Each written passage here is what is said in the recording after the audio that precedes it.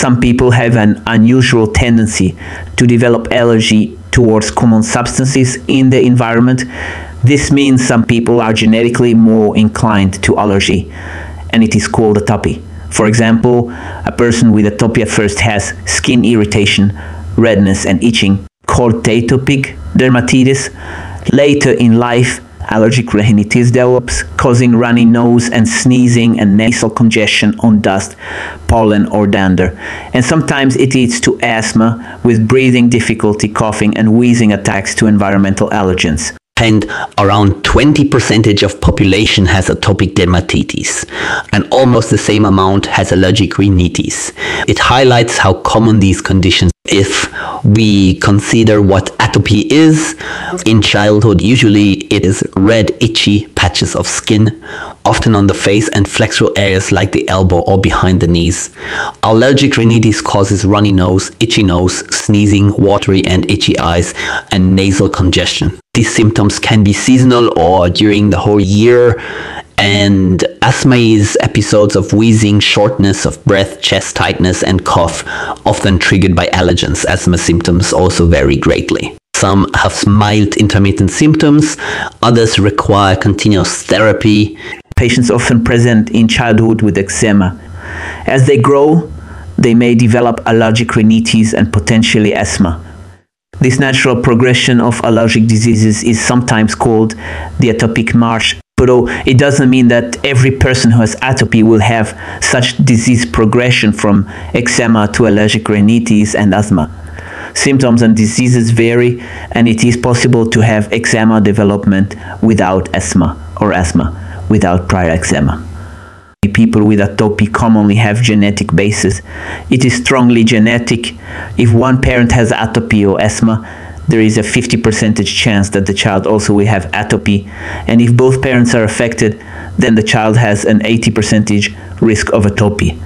The main mechanism of atopy is considered genetic predisposition to inherit genes that favor immunoglobulin uh, mediated allergic responses to environmental allergens like pollen, dander, and dust.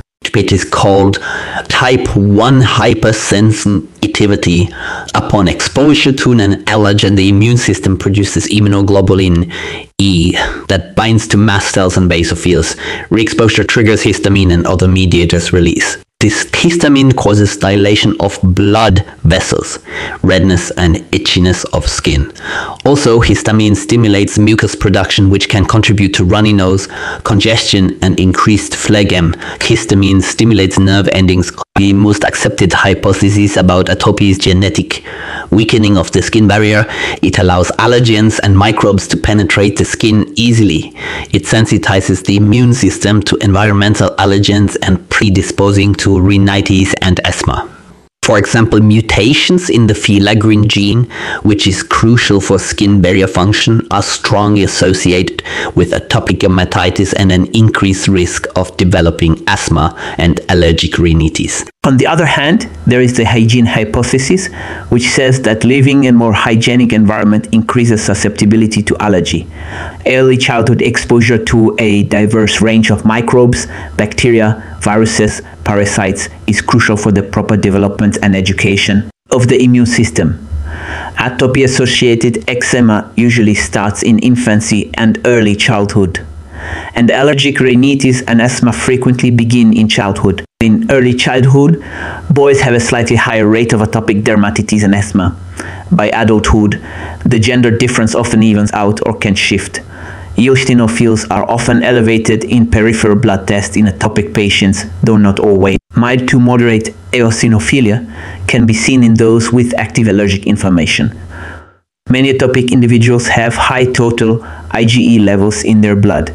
Elevated IgE and eosinophilia are common but not universal. Some with atopy have normal IgE and eosinophil levels. Is for diagnosis. A small amount of allergen is pricked into the skin, localized wheal, and flare indicates sensitization. For asthma diagnosis, spirometry and bronchial provocation tests are used. Assess lung function and demonstrate reversibility or hyperreactivity, for example, methacholine challenge. A substantial percentage, up to 50 to 70 percentage, show improvement by teenage years, though some have persistent or relapsing disease into adulthood.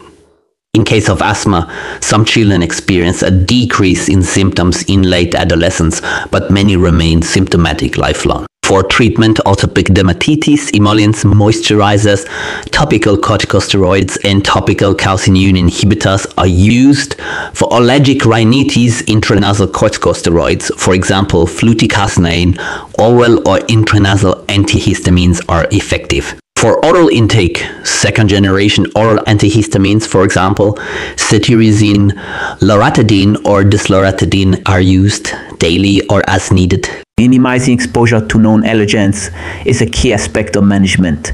If allergic rhinitis will not be treated, it can be complicated as uncontrolled nasal inflammation, sinusitis, nasal polyps, or persistent congestion. Chronic sneezing, Congestion and post-nasal drip can interfere with sleep and daily activities. If asthma will be left untreated, ongoing untreated inflammation in the airways can lead to structural changes called airway remodeling, which over time may reduce responsiveness to bronchodilators. It will cause persistent wheezing, shortness of breath, or activity limitations. Repeated exacerbations can cause a gradual decline in lung function. If someone has untreated severe asthma, they might begin showing COPD like symptoms or fixed obstruction in mid to late adulthood.